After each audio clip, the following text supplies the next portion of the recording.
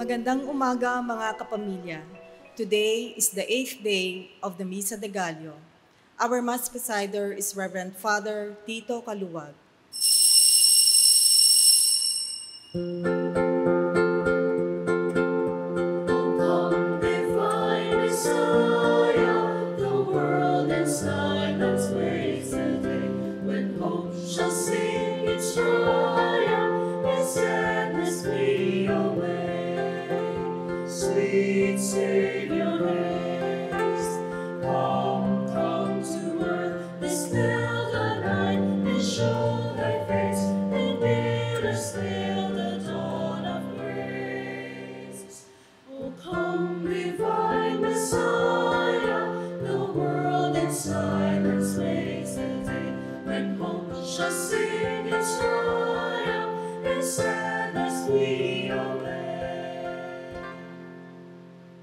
the name of the Father, and of the Son, and of the Holy Spirit, Amen. the Lord be with you. And with your spirit. My dear brothers and sisters, pagdating po natin ngayon, patapos na ang ating uh, siyam na araw ng ating pagdarasal. Ngayon ho ang walong, pangwalong araw. No? Kaya patuloy natin ialay ang ating mga panalangin sa ating novena ngayong simbang gabi. My dear brothers and sisters, to prepare ourselves to celebrate the sacred mysteries, let us call to mind our sins and ask the Lord for pardon and strength. Lord, have mercy. Lord, have mercy. Christ, have mercy. Christ, have mercy. Lord, have mercy. Lord, have mercy. May Almighty God have mercy on us, forgive us our sins, and bring us to everlasting life. Amen. Glory to God in the highest. And on earth, peace to people of goodwill. We praise you, we bless you, we adore you, we glorify you, we give you thanks for your great glory. Lord God, Heavenly King, O God, Almighty Father, Lord Jesus Christ, only begotten Son, Lord God, Lamb of God, Son of the Father, you take away the sins of the world, have mercy on us. You take away the sins of the world, receive our prayer. You are seated at the right hand of the Father, have mercy on us. For you alone are the Holy One, you alone are the Lord, you alone are the Most High, Jesus Christ, with the Holy Spirit, in the glory of God the Father. Amen. And let us pray. Almighty and everlasting God, as the nativity of your Son according to the flesh draws near, grant our humble prayer that you may know the mercy of the Word incarnate who took flesh of the Virgin Mary and came to dwell among us. We ask this to our Lord Jesus Christ, your Son, who lives and reigns with you in the unity of the Holy Spirit, God forever and ever. Amen. A reading from the book of the prophet Malachi. Thus says the Lord God Lo, I am sending my messenger to prepare the way before me. And suddenly there will come to the temple the Lord whom you seek, and the messenger of the covenant whom you desire. Yes, he is coming, says the Lord of hosts. But who will endure the day of his coming? And who can stand when he appears? For he is like the refiner's fire, or like the fuller's lye. He will sit refining and purifying silver, and he will purify the sons of Levi, refining them like gold or like silver that they may offer due sacrifice to the Lord. Then the sacrifice of Judah and Jerusalem will please the Lord, as in the days of old, as in years gone by. Lo, I will send you Elijah, the prophet, before the day of the Lord comes, the great and terrible day, to turn the hearts of the fathers to their children and the hearts of the children to their fathers, lest I come and strike the land with doom. The word of the Lord. Thanks be to God. Lift up your heads and see, your redemption is near at hand. Lift up your heads and see, your redemption is near at hand. Your ways, O Lord, make known to me. Teach me your paths. Guide me in your truth and teach me, for you are God, my Savior. Lift up your heads and see, your redemption is near at hand. Good and upright is the Lord. Thus he shows sinners the way. He guides the humble to justice. He teaches the humble his way. Lift up your heads and see, your redemption is near at hand. All the paths of the Lord are kindness and constancy toward those who keep his covenant and his decrees. The friendship of the Lord is with those who fear him, and his covenant for their instruction. Lift up your heads and see, your redemption is near at hand.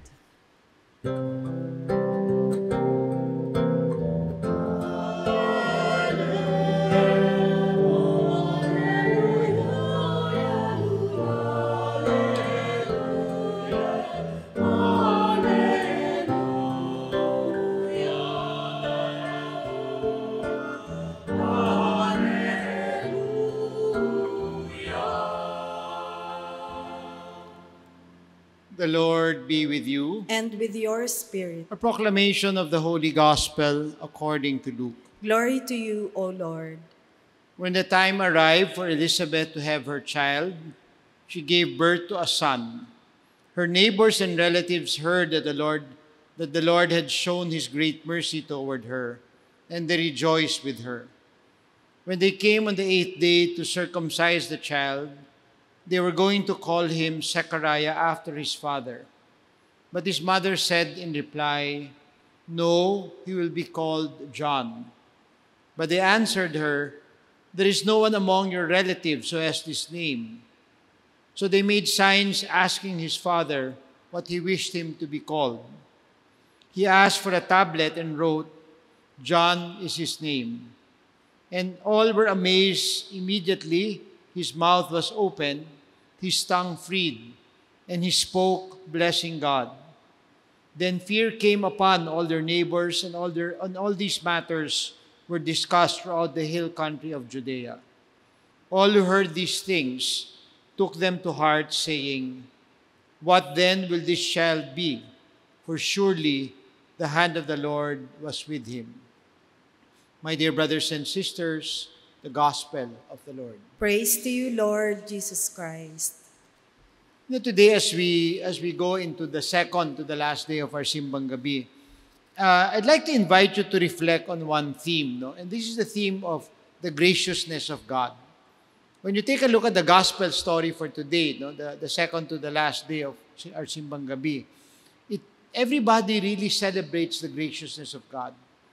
And here you see the, the neighbors and the relatives rejoice no, in, the, in the fact that Elizabeth was finally given this grace of having a child.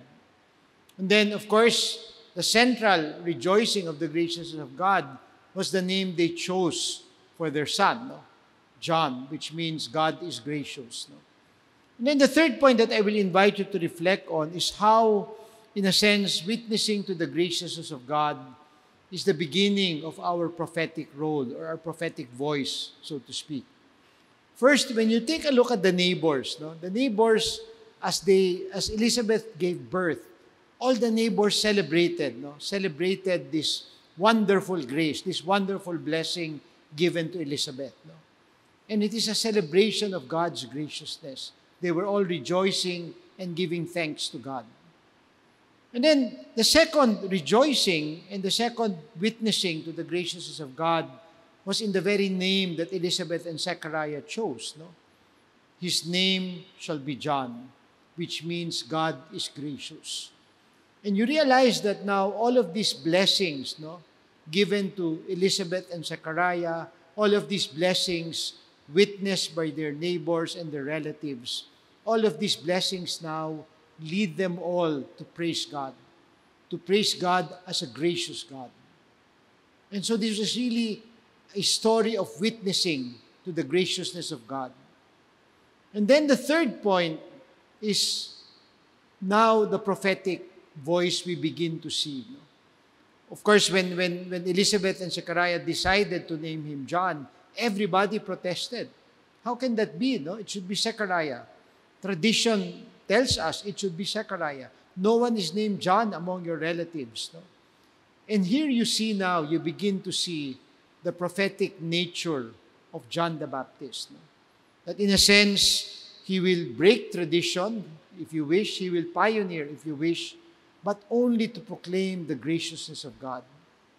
And today I invite you to reflect on this. No? As we come toward, to the end of our Simbang Gabi Masses, let us ask ourselves, no? especially as we have been praying these last seven, eight days, have we somehow proclaimed or acknowledged the graciousness of God in our life? Looking at all what we have reflected on, our faith, our hope, our love, and our joy, do we look at all these as signs of God's graciousness in our life? Siguro po ngayon na magtatapos na tayo ng ating pangwalong araw, patapos ng ating siyam na araw ng ating novena, magbalik tanaw tayo. Lahat ng ating napagnilayan itong nakaraang pito, walong araw, lahat ba itong ito ay nagpapakita sa atin no, ng pagmamahal ng Diyos, ang pagiging mapagbigay ng maraming biyaya ng Diyos sa ating buhay. Pag nilaya natin ito, kagaya ng pagninilay, kagaya ng pag, pagiging mapagpasalamat ni Elizabeth at ni Zechariah, dahil ang Diyos ay pinuno ng biyaya ang kanilang buhay. Pag nilayan din natin ang ating mga sariling buhay, tayo ba ay nagiging saksi sa Diyos na pag, mapagbigay, sa Diyos na mapagpala sa atin?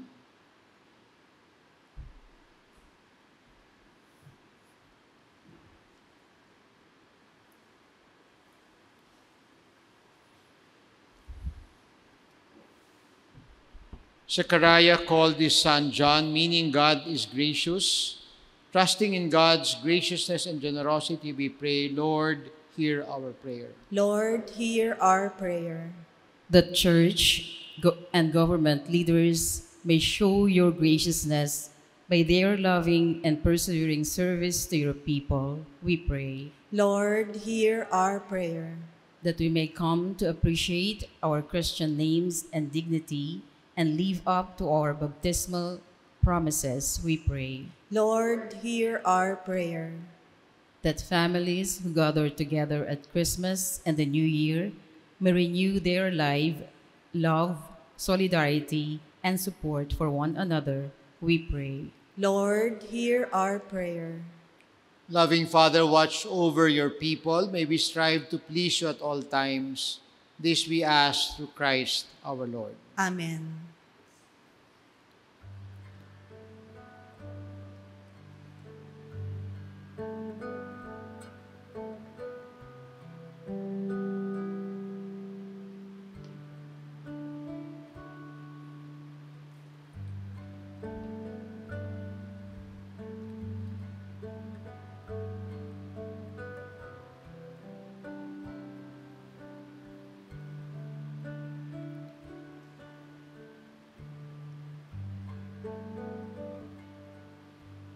Pray, my dear brothers and sisters, that this our sacrifice may be made acceptable to God, the Almighty Father. May the Lord accept the sacrifice at your hands for the praise and glory of his name, for our good and the good of all his holy church. Lord, let the sacrifice you have given us as the full expression of the church's worship establish us firmly in your peace, that we may celebrate with untroubled hearts the coming birth of our Savior, who lives and reigns forever and ever. Amen. The Lord be with you. And with your spirit, Lift up your hearts. we lift them up to the Lord. Let us give thanks to the Lord our God. It is right and just. It is truly right and just, our duty and our salvation, always and everywhere to give you thanks, Lord, Holy Father, Almighty and eternal God, through Christ our Lord. For all the oracles of the prophets foretold him, the Virgin Mother longed for him with love beyond all telling. John the Baptist sang of his coming and proclaimed his presence when he came. It is by his gift that already we rejoice at the mystery of his nativity, so that he may find us watchful in prayer and exultant in his praise. And so with angels and archangels, with thrones and dominions, and with all the hosts and powers of heaven, we sing the hymn of your glory, as without end we acclaim. Holy, holy, holy Lord, God of hosts, heaven and earth are full of your glory. Hosanna in the highest. Blessed is he who comes in the name of the Lord. Hosanna in the highest. You are indeed holy, O Lord, the fount of all holiness. Make holy, therefore, these gifts, we pray, by sending down your Spirit upon them like the dewfall, that they may become for us the body and blood of your Son, our Lord Jesus Christ. On the night that he was betrayed and entered willingly into his passion, he took bread, he gave you thanks. He broke the bread, gave it to his disciples, saying, Take this, all of you, and eat of it. This is my body, which will be given up for you.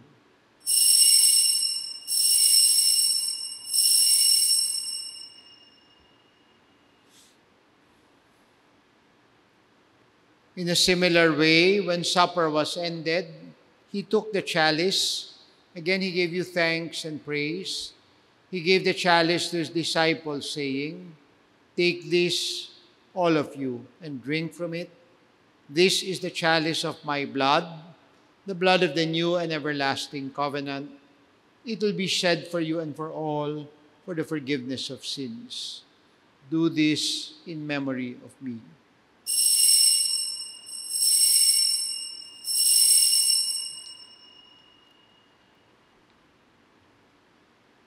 The mystery of faith. When we eat this bread and drink this cup, we proclaim your death, O Lord, until you come again. Therefore, as we celebrate the memorial of his death and resurrection, we offer you, Lord, this life giving bread, this saving cup. We thank you for counting us worthy to stand in your presence and minister to you. Humbly we pray that partaking of the body and blood of Christ, we may be gathered into one by the Holy Spirit. Remember, Lord, your church spread throughout the world and bring her to the fullness of charity, together with Francis, our Pope, Honesto, our Bishop, the clergy, the entire people your Son has gained for you. Accept, Father Most Holy, all the intentions commended to our prayers at this Mass. Remember also our brothers and sisters who have fallen asleep in the hope of the resurrection, and all who have died in your mercy. Welcome them, Lord, into the light of your face. Have mercy on us all, we pray, that with the Blessed Virgin Mary, Mother of God, with Saint Joseph, her spouse, with the blessed apostles and all the saints who have pleased you throughout the ages, we may merit to become heirs to eternal life and praise and glorify you through your Son, Jesus Christ. Through him, with him, and in him, in the unity of the Holy Spirit, all glory and honor is yours, Almighty Father, forever and ever. Amen. At the Savior's command and formed by divine teaching, we dare to pray. Our Father, who art in heaven, hallowed be thy name. Thy kingdom come, thy will be done on earth as it is in heaven. Give us this day our daily bread, and forgive us our trespasses, as we forgive those who trespass against us. And lead us not into temptation, but deliver us from evil. Deliver us, Lord, from every evil and grant us peace in our day. In your mercy, keep us free from sin and protect us from all anxiety as we wait in joyful hope for the coming of our Savior Jesus Christ. For the kingdom, the power, and the glory are yours, now and forever. Lord Jesus Christ, you said to your apostles, I leave you peace, my peace I give you. Lord, we beg you not to look on our sins, but on the faith of your church, and grant us the peace the unity and the joy of your kingdom where you live forever and ever. Amen. May the peace of the Lord be with you always. And with your spirit, And let us offer each other the sign of peace. Peace. Lamb of God, you take away the sins of the world, have mercy on us. Lamb of God, you take away the sins of the world, have mercy on us. Lamb of God, you take away the sins of the world, grant us peace. My dear brothers and sisters, behold the Lamb of God. Behold him who takes away our sins, the sin of the world. Happy are we who are called to share in the supper of the Lamb. Lord, I am not worthy that you should enter under my roof, but only say the word, and my soul shall be healed. May the body and blood of Christ bring us all to everlasting life. Amen.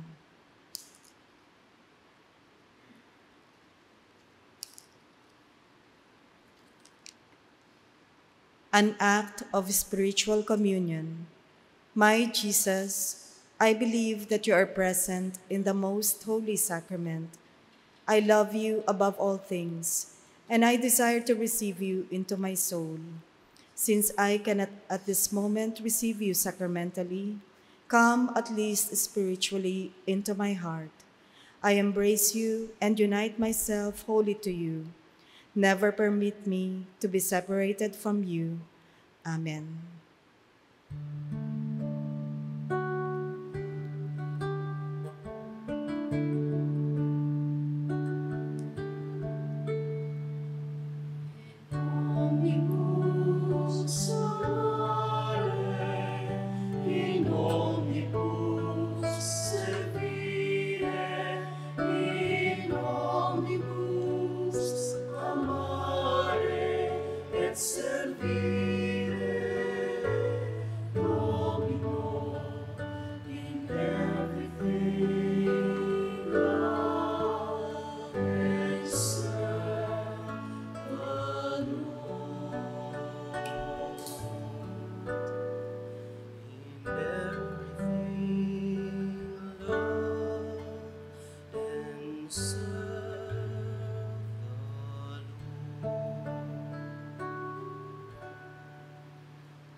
Let us pray. Grant pardon and peace, O Lord, to those who have fed with heavenly gifts, so that at the coming of your beloved Son, we may hasten to greet him with lamps alight in our hands. We ask this through Christ our Lord. Amen. The Lord be with you. And with your spirit, Bow your heads and pray for God's blessing.